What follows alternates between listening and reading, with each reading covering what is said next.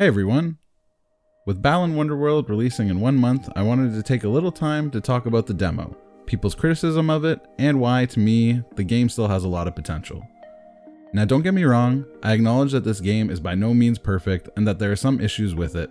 However, if we look a little deeper at the game, I think you'll be surprised to see how much potential it really has. Before I get into everything, I just wanted to say I really appreciate everyone's support lately, and I'm nearing 250 subscribers here on YouTube. If I can hit 250 subscriber goal or surpass it before March 26 when Balan Wonderworld comes out, I'll give away one copy of the game on your platform of choice. Info for how to enter will be in the pinned comment below. Thank you again so much. Alright, let's get into it. If you haven't had a chance to try out the demo yet, I would highly suggest trying it after watching this video. It will give you a really good idea of what the final game will be like. You get to play through the entire first world, so that's Act 1 and 2 and the boss fight. You'll also get to sample Act 1 from both World 4 and 6. This lets you collect costumes, drops, and play the Balan bouts. You'll also get to find and feed Tims and interact on the hub world, the Isle of Tims. All in all, there's quite a bit to do in this demo, and I applaud Square Enix for including that much. Now getting into the finer details about the demo and the game overall, I feel it's probably best to address the concerns I personally have and have seen popping up all over Twitter and YouTube about the game. I don't want this to be a really negative video as I want to focus on more of the positives, so I'll try and keep these complaints short and sweet. The biggest complaints I have myself and that I've seen online are the slow movement and stiff animations, not being able to jump in all costumes, control scheme being too simple or too easy and only being one button, how long the animations take to change costumes, and if they could remove the keys because they're pretty much useless to unlock costumes. Let's go over these in a little bit more detail really quickly. Slow movement and not being able to jump in all costumes are by far the most common complaints I have seen online about Balan Wonderworld, and I definitely felt the same myself playing through the demo. I remember seeing the gameplay footage from the PS5 event in Japan some months back and thinking to myself it looked like the characters were trying their best to run really hard, yet they didn't seem to be moving much. I just hoped that it was something that was being lost in the capture of the footage and was simply because I wasn't playing the game myself. Well, sadly, it wasn't an optical illusion, and the characters really do run slowly in this game, and there's no real control over that. There's no run or sprint button, you're just always moving at the same speed. Certain costumes in the final game will most likely increase this speed for us, which will be a nice change of pace, but overall it does feel like there should be more control of the speed of the characters and we should be able to move faster. Not being able to jump in each costume is a really difficult one for me, as I can see both sides here. This also ties into another complaint that every button does the exact same thing. You use the left analog stick to move, the right analog stick to control the camera, L1 and R1 to change costumes, and then every other button is the do something button. This do something is controlled by what costume you're currently wearing, and some of those costumes will do something like shoot a fireball, therefore will not be able to jump. You can simply change to another costume that can jump, but here we get into another one of the complaints, that the animation for switching costumes takes too long. It locks you in place and takes a couple seconds just to complete. This means you can't string together costume abilities, which if you could do this quickly would be insanely cool. From a design perspective, I can see why they wanted to go this way. If every costume could jump, you would eliminate the need for a lot of them, as I could use something like the Dainty Dragon costume almost all the time to run, jump, and shoot to break blocks as I needed. Yes, I'd still switch when needing to make longer jumps or something, but this would take away a lot of the puzzle solving and the need to use each costume for their specific ability. However, on the flip side, we've been trained and conditioned that in almost all games, power-ups are just those, power-ups. They're supposed to augment your existing skills, not replace or remove abilities from you, so this does feel like a dramatic change and is something a little difficult to wrap my head around. This do something button also makes the game then feel very simple or too easy, and I know this will be a big turnoff for a lot of people. My biggest gripe with this one button for everything is that it even actually carries over into the menu. There's no cancel or back button, only a confirm button. This means to navigate the menus, you have to scroll to a specific back or cancel button just to return to the previous screen, and it is really frustrating. The last big complaint that we'll talk about here before getting to the good stuff is the key system. To use each costume, you must first unlock it with a key. These keys are usually right beside the costume or not very far away, and if they are, they're not well hidden, so they seem pretty pointless in terms of needing to do something. Why can't we just pick up the costume? Why do we need to unlock them anyways? The keys respawn after a short while, so the fact that we need to keep picking them up just seems like busy work for no real reason. Removing them from the game wouldn't hurt the gameplay at all, it would probably just save us some time and make things seem a little faster. Okay, well that seems like a lot of negatives. I think if you take time to play through the game in the demo, you'll find that there are a lot more positives and reasons why I think we should all give it a chance. Aesthetics. The first thing that probably drew you to checking out Balan Wonderworld is the beautiful CG cutscenes and the really cute character models. There's so much charm in the design of these characters, costumes, and worlds that it just seems so inviting and makes you want to learn more about them. Each world has a very different look and feel, which keeps things fresh and fun with different mechanics, costumes, and characters. It just makes you want to know more and more about each world and its inhabitants. Music. The music in Balan Wonderworld is really amazing from what we've heard so far. The game itself is supposed to be centered around the theater and has numerous musical acts, dance numbers, and just overall some really great original music. You especially will notice this in areas like the Balan Bouts or World 4, which have some really cool music.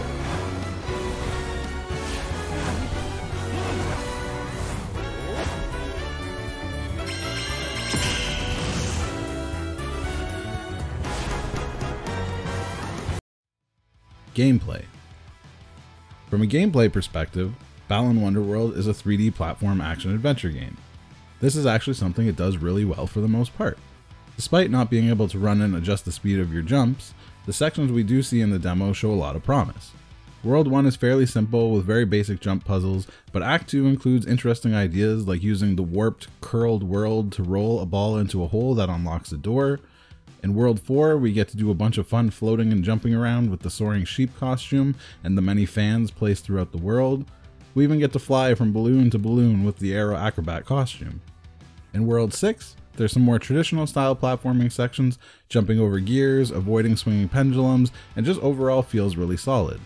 In these three worlds, we see a drastic change in the way we play each stage, the way the costumes interact with the world, and it's all really solid. I'm really excited to see what other mechanics will be introduced in the other worlds. There's also some other cool little features that we don't even know a lot about yet.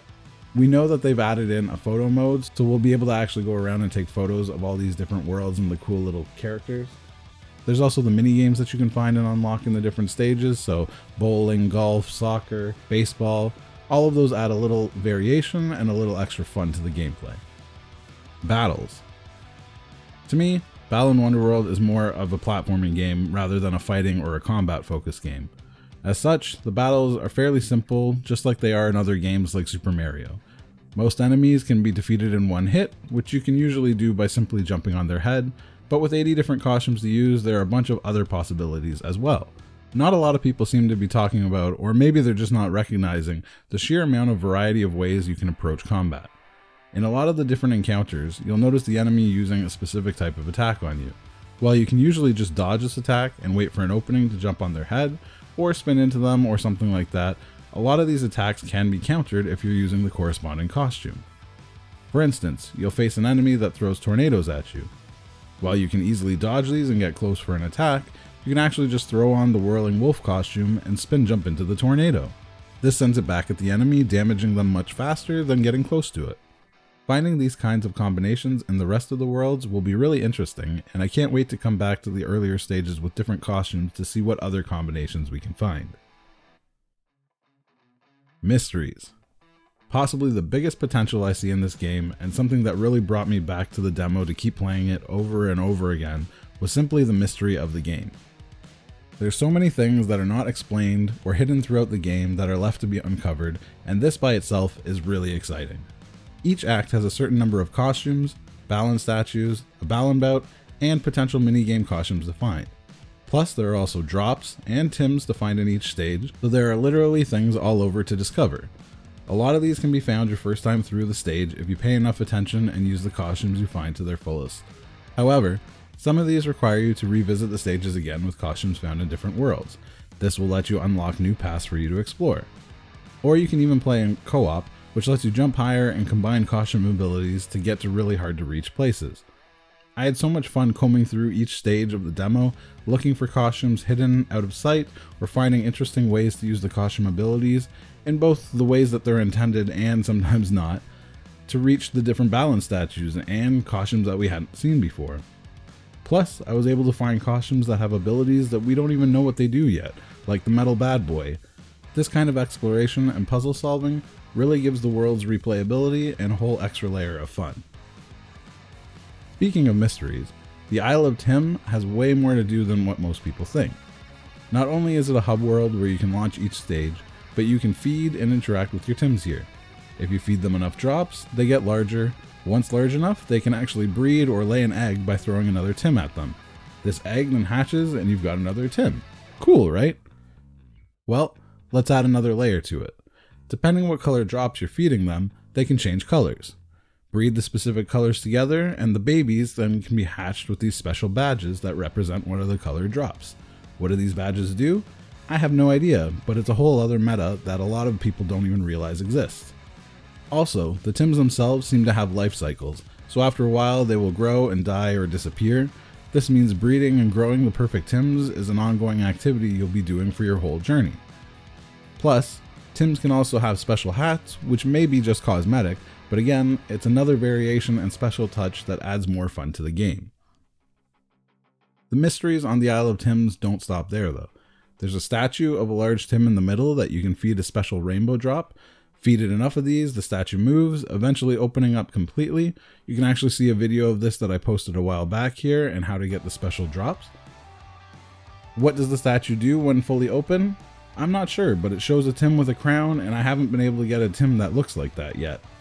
Maybe we can breed the ultimate Tim and it will have a crown and do something with the statue? Who knows? There's also the Tim Tower on the island that we don't know what it does when you max it out, so it's going to be really cool to see what it does in the full game. Plus, there's a Balan costume floating way up high on the island above Tim Island. How do we get there and get the costume? Will we get there when we max out the Tim Tower? Or maybe when we breed the Tim with a crown? Maybe we just get it at the end of the game. These are all things that I want to know, and only from playing and exploring the full game are we going to find these things out. Last up on my list of mysteries that keep bringing me back to this game are the stories. Each world revolves around a different person and a different problem they've had in their life, which caused them to be brought to Wonderworld. A lot of these stories will hit close to home for a lot of people out there, and they deal with some really touchy subjects, so finding out the stories of all these people and how they're resolved in the end will be really interesting. We already have an idea of what the stories of Worlds 1 through 9 are, which you can find in the breakdowns in my other videos, which will be linked in the description down below. So check them out if you haven't already, and let me know which story you identify with most in the comments down below. So what can Square Enix do, or what do I think of the game overall? Well, what we have here is a game with some obvious problems. Are they game breaking? In most cases, no. The gameplay itself is a little slower than I would personally like, and it can be a little frustrating at times, but is that enough to stop me from exploring these worlds and learning all we can? No, probably not. I would also like to point out that the demo we're playing right now is also probably about 4 months old. It looks like the same build that they were playing back in October when we first saw the gameplay, so there is the potential for things to have changed since then. I wouldn't expect anything drastically different, but enough time to polish a lot of the rough edges and hopefully add some of the quality of life features. If they fix the amount of time it takes to change costumes, not being able to jump with each costume wouldn't be that big of a deal, and it would make using all the different costumes together a lot more interesting. Being locked in one place for a few seconds each time switching is really the problem, as being able to string together the costume abilities would feel amazing. The key issue here isn't a deal breaker for me. I would really like it if they could remove them since they do seem pretty pointless, but if it's not changed, it's not that big of an inconvenience. Ultimately, a lot of the people's concerns and problems with the game are justified, and I won't deny or belittle that.